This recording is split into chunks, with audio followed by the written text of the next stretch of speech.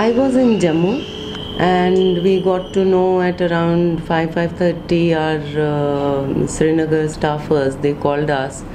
They had been working in the office and uh, their uh, they uh, told us that the estates people came and they asked them to um, uh, you know come out of the office that they had to seal the office um, so uh, they asked them they argued with them they asked them where is the order and on what basis are you telling us? Um, but uh, they gave no such um, uh, orders. Uh, they said we have no orders. You go and talk to the higher up officers. So that was it. And uh, so they, they were just asked to come out. All our equipment everything was inside and uh, with uh, by no due process was followed. Like you give a cancellation order you give time to the occupant to file objections as per the estate's rules. Um, and then then there is an eviction order and the time is given for the occupant to uh, evict. Six weeks ago we started hearing rumors and many of these rumors were being circulated from within the estates department some journalistic colleagues also talked about it must have heard it from there uh, but uh, that uh, this uh, allotment is being cancelled and uh, they're going to be evicted. So, you know, lower rung staff of the estates department would come um, to our office and uh, tell us that this is going to be evicted, we're going to put a lock here. But there was nothing in writing. So, my bureau chief, my manager, in Kashmir. They went to the estates department two, three times. They asked these officers at the higher level what the matter was and what is the clear picture. But we did not get any response. You know, one person said, Yes, there is an order, but we don't know where it is. Um, then somebody said, We have it on the phone, we look for it. You know, very vague answers. So, after two days, we uh, decided to move the court. Uh, so we filed a petition in the deputy commissioner's office which is now dealing with all these public buildings. And um, we, we've sought a stay on uh, on the basis of the rumors that we heard that uh, we sought a stay uh, on that. And the petition has been heard. Uh, the order is awaited You know, journalism has never been a cakewalk in Kashmir since the 90s. We hear from our seniors that how difficult it was to be a journalist in those days when both state actors and non-state actors uh, there were pressures from both the state as well as the non-state actors, even from the government-sponsored gunmen called Ikhwan. Uh, journalists were kidnapped on a uh, routine basis and there were pressures to publish, uh, you know, um, the state version and the uh, version of the non-state actors. And if some journalists failed uh, in that, uh, and there were consequences. So then uh, there was some kind of semblance of calm or normalcy as one would call it but it has gotten uh, you know so worse that more than 32 journalists have been summoned interrogated uh, intimidated and summoned to police stations and also uh, cases, uh, fabricated cases filed against them and evicted from government allotted quarters um, and uh, the advertisements cut. So the assault is on multiple, uh, you know, uh, is, is in multiple ways. And it has uh, not only criminalized journalism in Kashmir, but it has caused huge, huge psychological barriers. It has caused psychological pressures on journalists. Um, it has caused psychological pain to the families. Uh, you know, it's very difficult to survive as a journalist in Kashmir uh, in present day time. Uh, you know, uh, I think as an editor uh, running a publication in Kashmir, it's very hard. I think it is the most difficult period for uh, journalism in Kashmir in these times because uh, there are a lot of restrictions there are invisible restrictions. There are uh, physical challenges like that journalists editors are getting summoned by police I have been detained. I have had three encounters with the authorities in the last six, seven months. Two of them have been the summons, and once recently, uh, two weeks ago, I was detained from a national highway and questioned for four and a half hours. So it's very hard that uh, what kind of content that you will publish. I think the challenge is also that uh, when you are just few of the people who are writing and following the news that we used to do all the while, and that is the journalist's job, it becomes more difficult. I'm not saying that there is uh, other media publications are not doing their job but it is being done differently and there is a lot of pressure on them also. There's a lot of pressure on everyone else. But uh, this is the high time that uh, journalism in Kashmir uh, should not crumble, should not crush. And on top of that the government has also introduced a media policy which is a draconian media policy under which journalists can be questioned, investigated and uh, their uh, backgrounds will be checked and uh, we have been continuously demanding and I as the editor of this publication have been writing constantly that this media policy should be revoked and it should not be imposed on media in Kashmir because then there will be no uh, free press in Kashmir.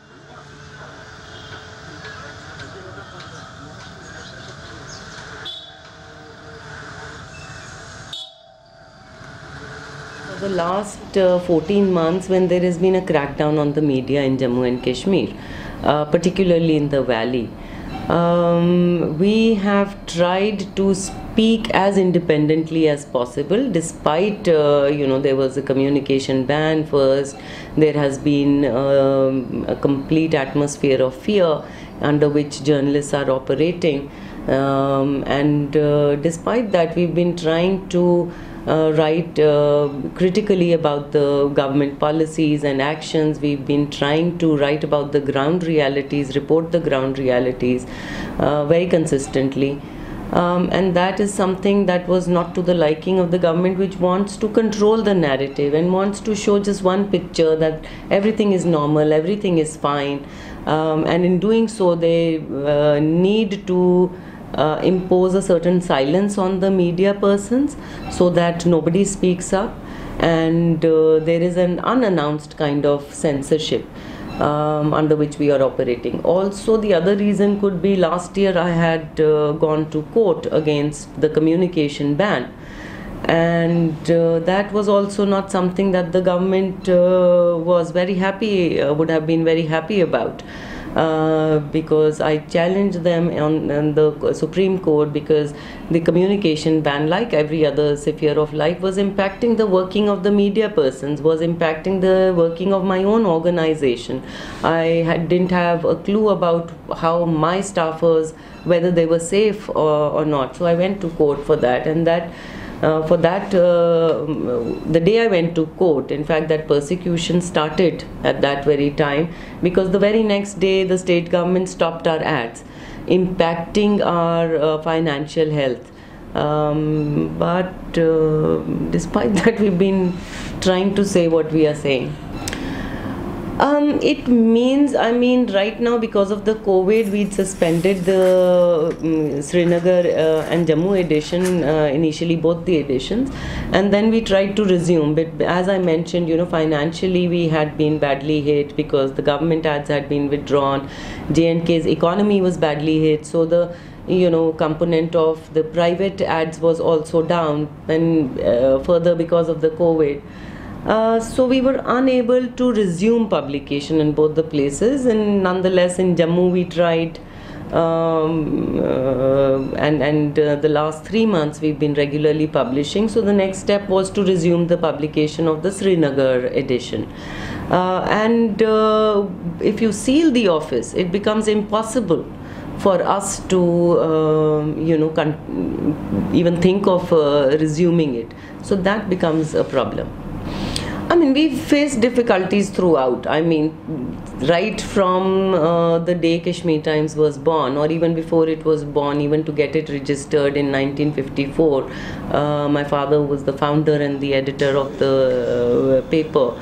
Um, he was uh, uh, you know, he was not allowed to get a newspaper registered in his name in Kashmir, and so the story began there. Then he had to shift to Jammu from there and um, register it here.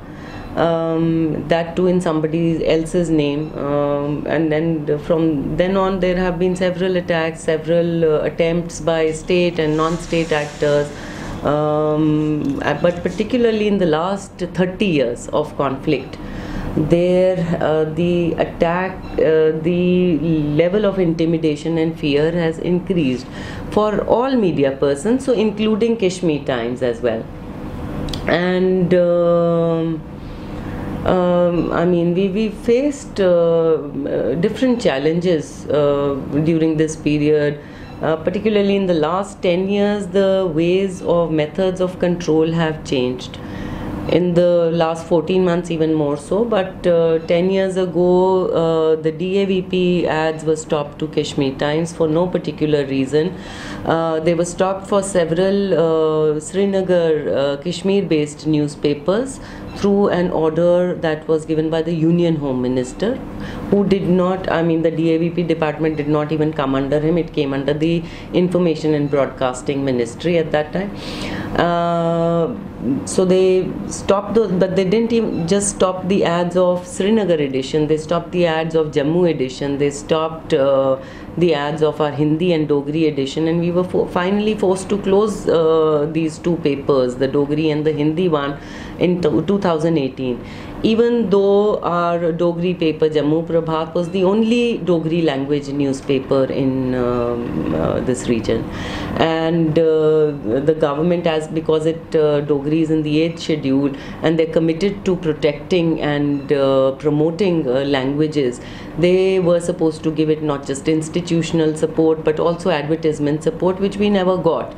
In fact whatever little we were getting it was completely withdrawn and made it made it completely difficult impossible for us to sustain that uh, project. Um, so uh, that those challenges have been uh, going on forever but right now it's uh, much more in the sense that there is no accountability. Today if we approach um, any officers there is no response. They seem to know nothing. Or they either they at the best they, they will say this these orders have come from higher up and nobody is ready to take any responsibility.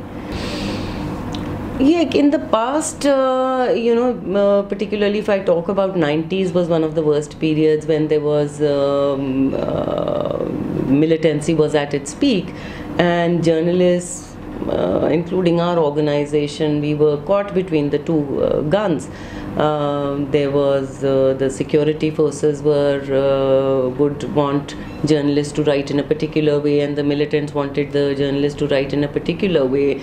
Several journalists were killed. There were threats. There were uh, people would be picked up or kidnapped even by militants. Um, journalists were detained also by police. Um, and uh, I, I, think that was a very challenging time because there was physical threat.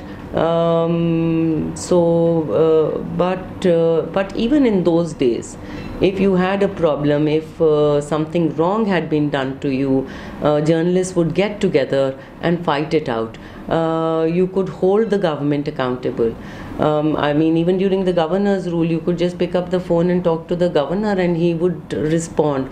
A certain level of communication was existing between the journalists and the government. Today, that communication channels have been broken. My name is Auqib Javeed. I'm a Srinagar based journalist.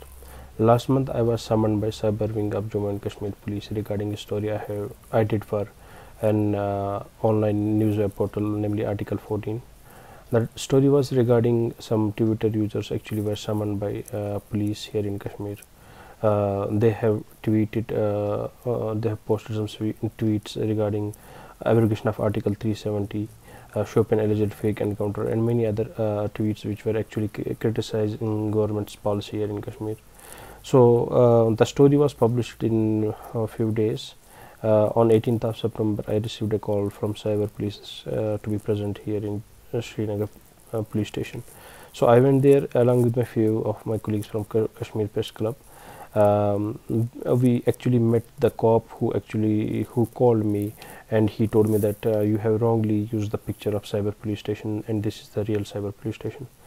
So after uh, after an hour he told us that you have to meet cyber police of of Jammu and Kashmir police. We went there which is just few meters away from uh, Shergarhi police station where actually cyber police station is right now. So we were asked to wait outside. Uh, after some time a cop came um, from the uh, chamber of cyber police chief he asked me to uh, come in and told my other two colleagues to wait outside. As soon as when i went uh, inside the room while i was waiting uh, outside his room a masked cop came and slapped me twice uh, without any reason. When i asked him to why he's he was slapping me he just ran away. And as soon as I entered uh, in the room of cyber police chief um, I told him that uh, uh, my name is Auqib and, and you have called me here. And as soon as I told him he um, stood up from his chair and uh, started abusing me my mother my family other family members and kept shouting on me repeatedly. Uh, and he said that uh, you have how can you how can you use this picture? This is an old uh, priest you this is a morphed picture. You have used and uh, what is this headline? Uh, you are maligning the image of uh, Jammu and Kashmir police and threatened to book me under various sections of Indian law. I told him that picture and heading is not my discretion. It's a job of an editor you can speak to him. But he kept, kept shouting and abusing my family members and threatened me uh, mm, threat. After some time, my other few colleagues were uh, were allowed to uh, get in, but he didn't stop there. He kept shouting and shouting at me and abusing. And I told him that you can speak to my editor regarding this. And um, in the meantime, he spoke to my editor, and they had some arguments on phone. And but he said that uh, you need to change it immediately. I told him that this picture is uh, taken uh, the, uh, taken from um, um, Daily Mail UK, which is one of the reputed international organization, and it, it cannot be uh, fake or morphed. Um, and we they have used it in with due credits, but he said that this is fake story. You had done. Nobody was summoned here. Nobody was called. This is a fake story. Uh, I actually have uh, in fact quoted him extensively in the story. Uh, he also said that you have not talked to me and when I gave reminded him um, he said that no this is the fake story you have done I will book you under various sections of law. Uh, then after some time um, he he made me to apologize and and uh, to, uh, told me that tell your editor to remove the headline to remove the picture and write a note which my editor did because he knew that I was literally taken hostage uh, by the cop. It's, I mean, terrible. I, I don't like to talk about myself, but, you know, all our colleagues uh, from Basharat Masood of the Indian Express to Irfan Hakim of the Economic Times, Peerzada Ashiq of the Hindu, Naseer Ganai of the Outlook, all, you know, stalwarts uh, in journalism, all of them have been facing this harassment, continuous intimidation, cases filed against every other journalist, Fahad Shah, um, you know, you saw what happened to Anuradha Bhasin. So it's like, you know, everyone, you name a journalist and the guy has a case against him or her. You name a journalist, Masrat Zahra, for example, you name a journalist and they are facing one or other kind of harassment. As I said, that uh, not only the physical pain, but it's also caused psychological pain. And at the same time, it has caused a lot of self-censorship. Like journalists are scared to write the actual ground reality. Even when they indulge in self-censorship, then they edit their copies multiple times uh, you know, to see that how they can be safe. Uh, the, the, the, the attack on journalism, the assault on journalism is so huge and it's so intimidating that many of our colleagues are rethinking about their profession and they are trying to see other avenues to uh, you know support their livelihood. And some are trying to simply say goodbye to journalism. It's so huge. First we had the longest internet ban. Then we had physical restrictions on journalists also. Then uh, it started changing. The whole journalism scene in Kashmir started changing. But we have continued doing our job as uh, we have been uh, for last one year. We have not stopped. We have continuously reported on the issues that matter. We have reported on everything whether it is the human rights violations whether it is the politics in Kashmir uh, whether it is the arrests or the injuries that uh, people have faced from the pellets and anything else. We have not stopped and I don't think we will stop because uh, that is the only way that we are dealing with challenges. Of course, it becomes harder when continuously uh, you are being harassed, when continuously you have to face the authorities in one way or the other. There is no freedom of expression and there is no freedom after expression and then there are consequences. And then uh, at the same time, you know, it's like um, as you saw there was this uh, ban uh, first for many many months uh, on the internet so which also hampers journalistic work. It, it doesn't allow you to up upload your photographs. It doesn't uh, allow you to uh, you know access internet properly um, and uh, then there are these barriers at every uh, second you know um, you you move out of your house and after every 10 20 30 meters you have a barricade you have physical barriers. And there is a lot of frisking and there's a lot of unnecessary questioning. And then there is also this sword hanging on your head that if you write something uh, which is ground reality uh, what could be the consequences? So not only there is self censorship there is also like uh, this uh, you know, it, it, has taken a psychological toll on every single journalist in Kashmir. But at the same time, there is one positive thing is that there has been unprecedented solidarity from uh, those journalists who have summoned courage to stand up to all this tyranny and to stand up to all this censorship and you know um, you know, uh, stif- uh, against this act of stifling freedom of expression and freedom of speech in Kashmir, uh, who have actually offered to work for free, like in the case of Anuradha Bhasin when her office was sealed in Srinagar, her, she was evicted, her staff members were evicted from the government allotted quarters in Jammu, and there, ha- there has been this coalition of journalists and solidarity has poured in that people have actually offered to work for free uh, to keep Kashmir Times as an organization running. Uh, so that is one positive aspect, but there are many, many negative things happening. Times has a history in Kashmir. I mean, it's one of the oldest newspapers and it uh, is seen credible by the civil society, by the people. Uh, and it has been one of the newspapers, one of the rarest newspapers that has actually been a voice of reason, voice of rationality, voice of communal harmony trying to bridge the gap between Jammu and Kashmir. And Anuradha Bhasin has been very outspoken lady. I mean, uh, she has spoken against uh, assaults on media freedom. So I think uh, not only they tried to telegraph a message that this lone uh, warrior and lone rational voice in Jammu has to be silenced. But by sealing her office in uh, Kashmir also, uh, it, there, there, was this larger message that it doesn't matter whether you are a woman, whether you are a man, uh, you know, whether you're a photo, young photojournalist like Masrat Zahra, whether you're a senior author, senior journalist, it doesn't matter. They, they will go after everyone and they just want you to toe the, uh, toe the government's line, want you to become the government's extension arm, PR arm, like the DIPR. So they see journalists as stenographers. They don't want independent journalism. They want to criminalize opinions. They want to kill journalism in one go. So that is the ultimate message. I can't say the future of Kashmir Times. We're trying to do our best to ensure that it survives. Um, I mean, ever since uh, the this new episode uh, in in Kashmir Times history, um, the last two days, I have um, uh, you know received tremendous support from uh, colleagues, from readers in Kashmir, from uh, media colleagues in Delhi. Uh, and it, it is very overwhelming and very encouraging to the extent that people are offering us space in their homes. They say okay you use our space and use it as an office.